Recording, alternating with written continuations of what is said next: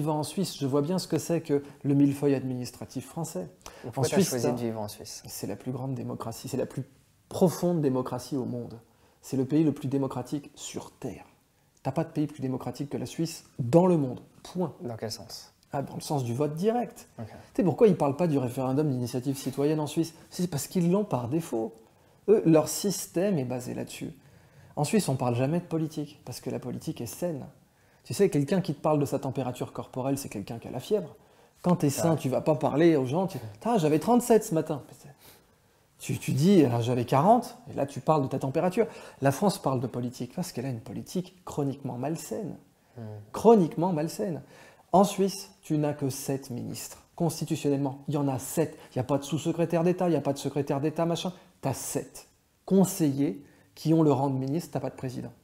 À eux 7, ils dirigent le pays ils sont toujours en cohabitation, toujours. C'est comme si tu avais, je sais pas moi, Eva Joly, Jean-Luc Mélenchon, euh, Marine Le Pen, et puis quelques ministres du centre droit et du centre gauche.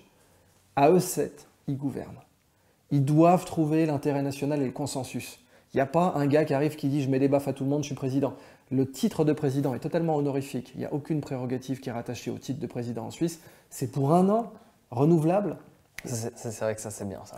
Ils ont trois niveaux administratifs seulement. Trois. Fédéral, cantonal, communal, c'est tout. Ils n'ont pas de ministre de l'Éducation nationale. Il n'y en a pas. Il n'y en a pas, c'est les cantons qui décident. Donc, tu regardes vraiment, enfin, la démocratie suisse, c'est technologiquement la démocratie la plus avancée sur Terre.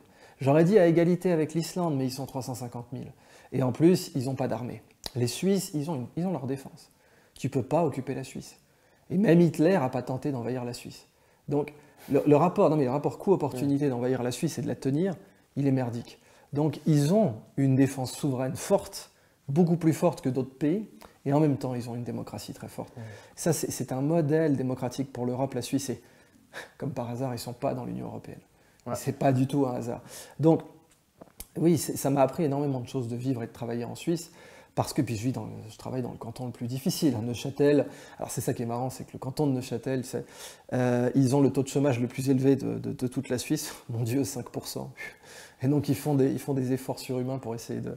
Ils ont une politique incitative, etc. Mais tu vois, à 5%, ils sont là, mon Dieu, on est mal géré, tu vois. T'arrives en France, ils truquent les chiffres et ils sont à 10. c'est voilà, qu'est-ce que tu veux que je te dise?